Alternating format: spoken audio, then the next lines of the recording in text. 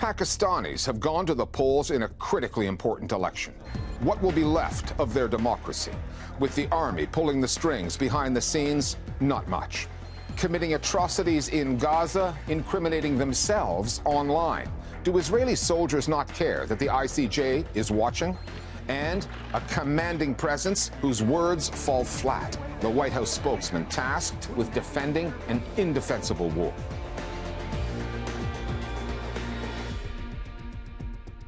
With more than 60 countries going to the polls in 2024, we are now one month into the year of the election. We begin with the one in Pakistan, where this week's vote did not go according to plan. It was meant to be a formality, the outcome predetermined. The Pakistani military and intelligence apparatus, referred to across the media there as the establishment, had made its preferences clear and marginalized candidates it opposed, namely former Prime Minister Imran Khan. The media had their marching orders. Anchors shied away from mentioning Khan's name on the air.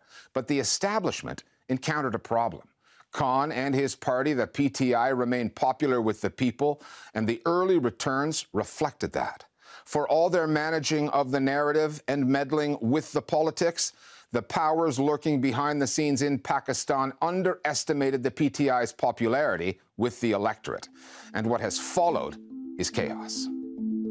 शहरी अपना हक राय दही बिना खौफ व खतर इस्तेमाल कर रहे हैं पोलिंग स्टेशन पर शहरियों की लंबी कतारें लगी हुई हैं इस बार Three days before Pakistanis went to the polls came this prediction, one that would prove prophetic, on what would happen if voters failed to back Nawaz Sharif, the candidate of the powers that be, and voted for Imran Khan instead.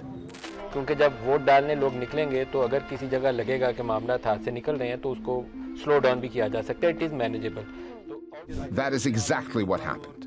Once the first wave of returns showing candidates affiliated with Khan were leading, the next wave of results slowed to a trickle. The Election Commission's official website suddenly went down on election night. ऐसे बहुत हद तक मुमकिन है कि अगर election commission को पता हो कि हमने रिज़ल्ट सुबह देना है तो हम सो जाते हैं फिर सुबह के दिन। मुजरिमाना गफलत की मुर्तकब इलेक्शन कमीशन ऑफ़ पाकिस्तान दिख रही है। 20 घंटे होने को हैं और अभी तक हमारे पास मुकम्मल नतज मौजूद नहीं हैं। Pakistanis tuned into their news channels were watching their democracy being managed in real time. This election was hardly an election. I think the right word for this was as a predetermined selection. The military establishment had expected that they would be able to control the results. Within two to three hours, it became obvious that Imran Khan's party was sweeping the elections. So the military took control of the election commission and has manufactured a totally new election results. Pakistanis have always had to read between the lines in the reporting and decipher coded language from news outlets wary of angering the authorities. They use cryptic terms like the establishment for the institutions that have almost always held the real power behind the scenes the Army and the intelligence agency, the ISI. Such language was deployed throughout the election campaign delivered with a chuckle at times, like a joke that everyone is in on.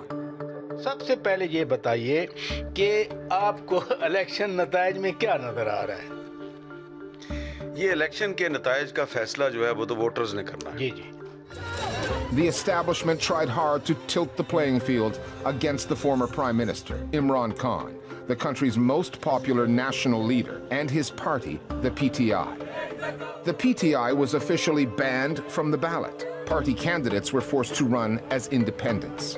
Then, just a week prior to the vote, Khan was sentenced to more than 30 years in jail on corruption charges and dubious allegations that he had an un Islamic marriage. The establishment thought it had managed to make Khan and his party unelectable. The results of the vote, at least the early returns, proved otherwise. In many ways, Imran Khan's story is a story of both continuity and a story of disruption. Imran Khan's story of continuity, what is that? That's because every prime minister in Pakistan who's tried to assert civilian authority eventually uh, comes up against the military establishment, uh, and he is, you know, um, shown the door, ousted out of power in whichever way um, is deemed fit. Uh, but Imran Khan's story is also a story of disruption uh, because he's been able to tap into a sentiment within Pakistan, uh, and that personality cult has meant that he's retained uh, his hold on the public imagination and is uh, now actually given as an example or a lesson of how to sort of tap into uh, the demographic, the youth, uh, and young people as well, who are obviously key voters. But I think also it's a it's a one way of describing his uh, political party because it is around the personality of Imran Khan. Uh, the myth and the legend is that it's not Pakistan Tehreek-e-Insaf, it's actually Pakistan Tehreek-e-Imran. When Imran Khan was first elected in 2018, he didn't really take power. He shared it with the establishment, as other prime ministers have had to do in what Pakistanis call their hybrid regimes. The former cricket player played ball with the military until 2021, when he clashed with army chiefs over who should lead the intelligence agency. By 2022, he was out of office. Then Khan went after the establishment, shattering taboos by naming and shaming army heads, setting himself on a collision course with the security apparatus, effectively sealing his own political fate. I think this is also a very simplistic way of looking at it. Mr. Imran Khan, he may have um, peddled the kind of narrative which has made him uh, a very popular leader in Pakistan. But he's committed a long list of mistakes, both while he was in power from 2018 uh, till, uh, till he was thrown out in 2022 in a vote of no confidence, and even afterwards. So, for example, he peddled this theory about some very large scale conspiracy in which the United States was involved with the opposition parties in Pakistan to throw him out because he has a large support base, uh, he was able to whip up a lot of frenzy. But then, obviously, the next thing happened, which is that he was slapped with a lot of court cases. I heard reports, people who attended a meeting with intelligence, and the message was very clearly delivered that you cannot say Imran Khan's name on mainstream television. So um, the Pakistani media had many amusing ways of referring to Imran Khan. It was always some kind of metaphor, uh, describing him as um, Suleiman's father, his, his, that's his son's name. Anchors were used to saying Imran Khan very easily, or Khan And then you suddenly see that they had to stop themselves. क्योंकि वकील अब्दुल रजाक साहब उन्होंने इमरान खान साहब पर माफी चाहता हूं chairman तरीके इंसाफ पर Leery of the compromises their mainstream media operate under, supporters of Khan and the PTI flocked to YouTube, social media, and elsewhere online to get their news. Khan's own YouTube account has been key to his party's messaging, as have bloggers backing the PTI, spreading the word virally. Those platforms have also attracted the attention of the establishment.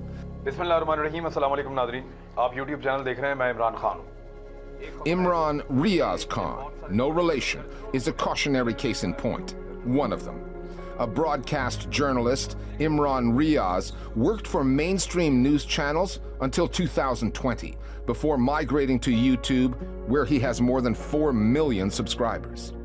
मेरा एक मौकफ है establishment की सियासत में मुदाखलत के खिलाफ In 2023, after Imran Khan's supporters attacked military installations, Imran Riaz was arrested for a third time and disappeared for four months. Police and other officials denied knowing of his whereabouts. He came out of it clearly damaged. His case served as a warning to Pakistani journalists working online Imran Riaz Khan was twice abducted and picked up illegally.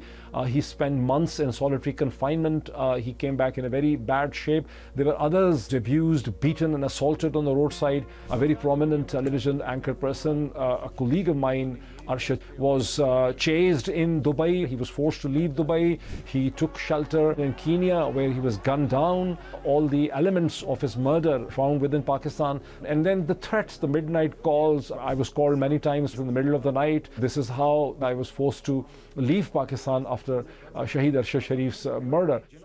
Media under threat is a reality which is connected to the um, the, the kind of power structure that we have here in Pakistan. Does the threat come from the establishment? There are no two ways about it. Does it come from civilian governments? Of course it does. There's been a long line of people in Pakistan who've held very high offices, both civil and military, who've had very little tolerance for freedom of expression and who've resorted to all kinds of pressures, both violent and non-violent, to try and clamp down on the media. So, unfortunately, the reality is that Pakistani media continues to live under a threat.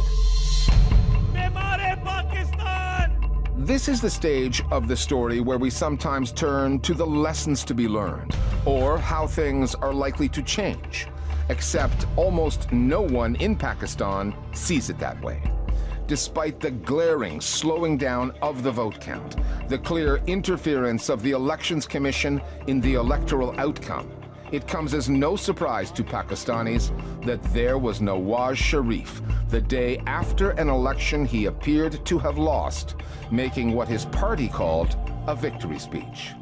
Pakistan Muslim league नून सबसे बड़ी जमात बन के उभरी है leaving Pakistanis to face the fact, the incontestable, well-established fact, that theirs is a democracy in name only.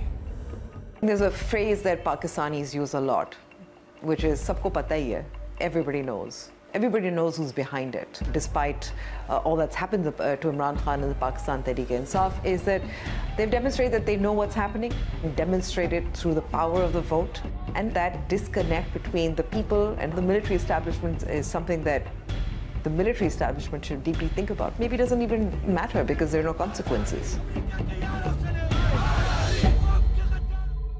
Turning to Gaza now. It's been two weeks since the International Court of Justice concluded that Israel may be committing a genocide there. Yet that seems to have had little effect on Israeli soldiers who continue to commit crimes against Palestinians and post the evidence online. Tariq Nafi is here with more. Richard, evidence of war crimes is being uploaded online by Israeli soldiers almost every day. This image of a Palestinian man stripped, bleeding, and tied down prompted outrage this week. The man behind the photo goes by the name Yossi Gamzu Latova. He's a photographer in the Israeli military who uploaded the picture to Facebook, and he clearly wasn't ashamed of it. That's his mobile number at the bottom of the image. After it went viral, Latova locked his Facebook account, but we managed to catch a glimpse of his profile before he did. It included pictures of his unit occupying Palestinian homes, homes they've destroyed, while taking trophy photos. Latova is also responsible for this video from December, which showed captive Palestinian men and boys being paraded half naked at a football pitch. Material like that is all over Facebook and TikTok, uploaded by Israeli soldiers. And this past week, the Israeli military came clean about a Telegram channel it now admits it created called 72 Virgins Uncensored. It proudly posted, among other things, photos of desecrated Palestinian bodies. Whether it's coming from soldiers, individuals, or the Israeli military, Documenting abuse and destruction in Gaza is part of a celebratory culture of violence against Palestinians that exists in Israeli society. Soldiers are all too comfortable sharing evidence of their own war crimes because they do not fear the consequences, even with the ongoing ICJ investigation. They know from experience that they won't be held accountable. Thanks, Tariq. For Israel's primary backer in its war on Gaza, the United States, getting the messaging right has not been easy. And the Israelis haven't helped, not with the imagery their soldiers have been sending from the war zone or the genocidal statements that many of their politicians have made. That's put the Netanyahu government at odds with the Biden administration behind the scenes. In public, in the middle of it all, stands the U.S. National Security Council spokesperson, John Kirby. The White House podium has not been an easy place for him, not recently. We have seen some uncomfortable exchanges with reporters that have made their way into news broadcasts, viral clips online, and even GIFs. Kirby has maintained an aggressive approach in his delivery. Whether audiences believe him or not is another matter. The Listening Post's Meenakshi Ravi now on John Kirby and the challenge of selling a message that fewer and fewer people are buying. I have John Kirby here. The Admiral's here to give an update on what's happening in the Middle East and take any foreign policy questions you may have. In the career of any senior Washington spokesperson, nothing turns up the intensity quite like a war. For the man who has been behind the podium in the White House press briefing room through the Gaza war, retired Admiral John Kirby, the global spotlight has been sharp. ג'ון קרבי הפך מתחילת המלחמה לפנים מאוד מוכרות בישראל. In Washington, the national security spokesman there, John Kirby, said he... I take it as a personal insult.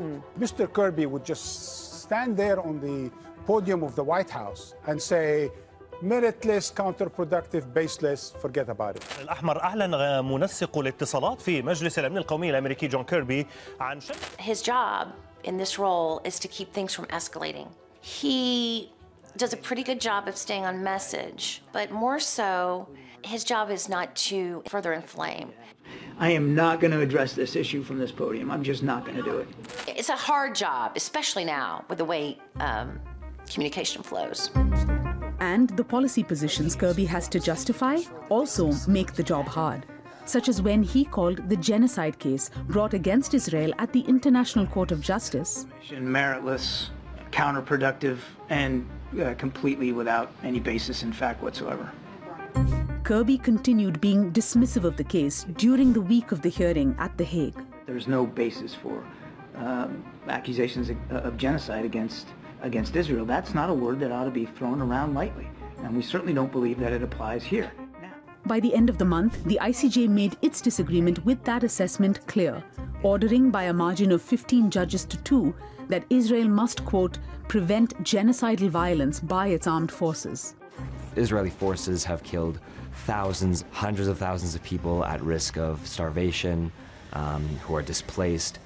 So, by that magnitude alone, one can intuit that there is some form of mass human rights issues here. By dismissing this claim of genocide, it allows Mr. Kirby and other administration officials to sort of then work around confronting and addressing the fact that there is so much mass scale misery that the United States might be actively complicit in.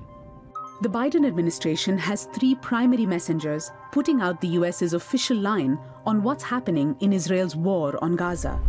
There are the State Department representatives, the White House press secretary, and John Kirby, whose title is Coordinator for Strategic Communications at the National Security Council, but who speaks from the podium at the White House. Kirby and other spokespeople are operating in a media climate where challenges can come not just from journalists in press rooms or news studios, but from the material reporters trapped in Gaza are putting out.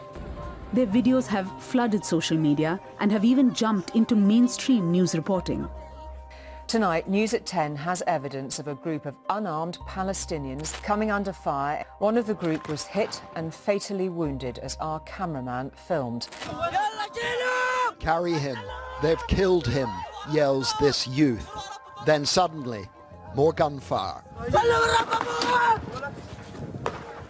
That ITV report was brought up at a State Department briefing. The spokesman had to claim, in essence, that he couldn't see what everyone else who saw the report could. I have seen the, the that footage, um, but uh, I uh, am not going to uh, comment on the specifics around that, given I'm not aware of the full circumstances on the ground. Dodging difficult questions, evading evidence that conflicts with US positions, it's part of any spokesperson's job. For Kirby and the others, they are doing that work as approval of the US's handling of Israel's war on Gaza nosedives. U.S. policy toward Gaza is not overwhelmingly popular in the United States. Polling shows that there's a tremendous number of people who are very ill at ease. CBS News poll is showing most Americans disapprove of President Biden's handling of the Israel Hamas war. And uh, there are mass demonstrations in the United States. There are about close to 60 members of Congress who've called for a ceasefire. Uh, four U.S. senators have done the same. And so while Kirby has tremendous strengths as a communicator, there I think is some question about whether his enthusiasm for the administration's position goes over as well as opposed to one that is a little more nuanced and in touch with the, the real debate that's going on in the United States. Nuance is not something Washington spokespeople are known for. However, within DC circles, Kirby's lack of it hasn't been of any detriment to his reputation. Two months into the war on Gaza, the Washington Post, the paper considered a must read in the US Capitol, put out this fawning piece about Kirby. The headline talked up his commanding presence, and yet fewer and fewer Americans are buying the administration's message. By and large, media coverage of Israel Palestine relations in the United States has been, uh, at best, mixed and often very poorly done. You see a reflection of administration policy and insider foreign policy consensus rather than a reflection of the real and whole debate. And so it's not overly surprising that you've got folks at the Washington Post saying Kirby's a commanding presence and he's very impressive and, and all these things. But one core question you might ask is is he effective? The notion that this White House has convinced the American people that its approach to Gaza is the right one, I mean, that's very much up for debate. There are a few things that make a senior spokesperson for any administration successful. One is, of course, just institutional knowledge. Another aspect is just experience. He not only was doing communications and press for the Pentagon, the State Department, the Navy, he as well had a stint on CNN as a security analyst. Joining me now is retired Rear Admiral John Kirby, CNN military analyst. For- so he's built up a lot of goodwill both with the press corps and with those who kind of see this man as a respectable voice on these issues. Hamas deliberately shelters themselves inside yes. residential buildings, hospitals, and schools, yes. basically on purpose, putting civilians in the line of fire. And what Israel's trying to do is get them out of the line of fire. So the influence Kirby has with the media has had an impact on mainstream reporting on the Gaza war in the US. Kirby teared up on the air in the days after the Hamas attack on Israel. But I've never seen anything like this. I, uh, it, I'm sorry. It's, it's very, excuse me, very difficult to look at these images, Jake. He hasn't succumbed to such emotion over civilian deaths in Gaza and has even contested the notion that the Israeli army might be targeting Palestinian journalists. Your question presumes that they are deliberately, maliciously going out to kill journalists, and I've seen, we've seen no indication that they have done that. The U.S. Uh, will always start at a place where they're pro-Israel. His response was, they have no hard evidence that that is happening. And, and keep in mind, lying is different from just controlling the flow of information, which is very important, especially in a situation like this, where there's a lot at stake, emotions are high, there's a lot happening that on the ground that most civilians are not aware of, at least not in its totality. For the four months that the war in Gaza has blazed on, John Kirby has been steadfast at the podium and in new studios. Footage of hospitals under siege have not pushed him off message. Evidence of mass starvation has not altered his talking points. Even the Israeli government's blatant counter messaging to the US's statements of diplomacy have not shaken Kirby's line of argument. For some, Kirby's message discipline is admirable. For many others horrified by the brutality in Gaza, the dogged support of Israel's methods of war is unforgivable. Kirby's numerous sound bites have been recorded for posterity, and they will remain for history to judge. We close where we started with 2024, the year of the election. There are another 53 to come all over the world, culminating in the U.S. presidential vote in November. In many of those elections, like Pakistan's, the mainstream media will play a central role affecting outcomes at times and not always for the better.